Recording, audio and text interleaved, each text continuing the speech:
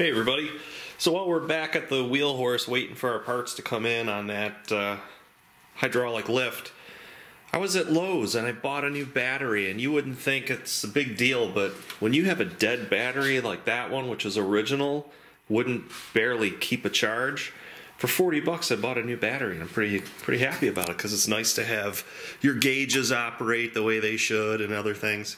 So these are 35 watt each uh, headlights and the problem is is that when I use the headlights the battery voltage even with a fresh battery when this thing's running it, it goes down to nothing. These batter these lights really suck a lot of power. They're not halogen, I don't believe. I think they're incandescent. I should probably turn that keys off. Key off. There we go. They're incandescent. Yeah, they're not halogen. And I bought them at Tractor Supply. So what I've decided to do is replace them with a comparable LED. They're basically the same size. These are a they're heavy. They got a glass lens. And you probably can't read that in the light. I can't either. But they are 3000 Kelvin, water resistant, 12 volt, PAR 36, PAR 36, 9 watt AC/DC light. These are basically a landscape light that you would put out in your yard shining up at a tree or something like that. Well, we're going to replace these, put these new ones on, and see what difference they make.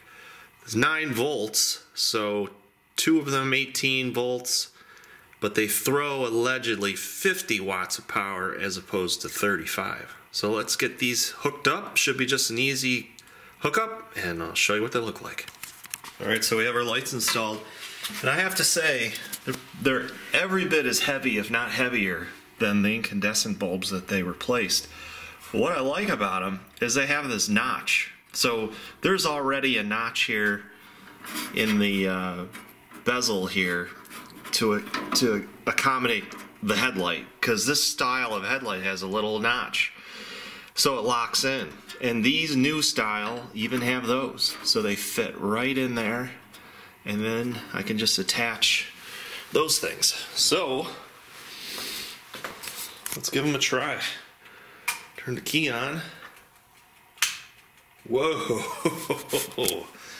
that is quite a difference. That is incredible. Those are blazing. Those are incredible. So that is a huge difference over what we had. And having the lights on, you can see where before I was pegged in the red, I'm just in the yellow. I should have, um, I got my tail lights. These are regular incandescents here, but they're probably only 5 watt. The charging system was actually having a hard time, I think, keeping up with these lights. So there's 70 watts of light. Now I've gone down to 18. So that'll uh, help my battery situation. I'm going to keep these just to keep them handy because they, they work. But um,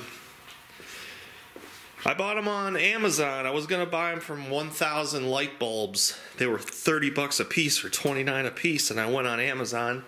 Amazon came up. They were 12 bucks a piece. Free shipping. Hard to beat that. Definitely hard to beat that. Let's start this up real quick.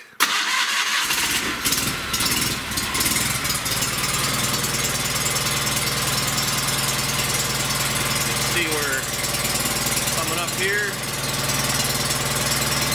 Now if I flip the lights on,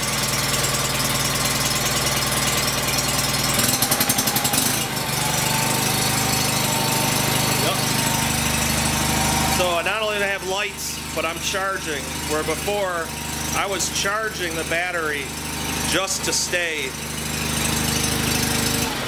I was charging the battery just to, to power those headlights. So I'll put a link in the description uh, where I got them and how much. If anybody has a tractor that uses these old style type light bulbs, you may uh, you may think about updating your lighting. So I have to say that was pretty impressive.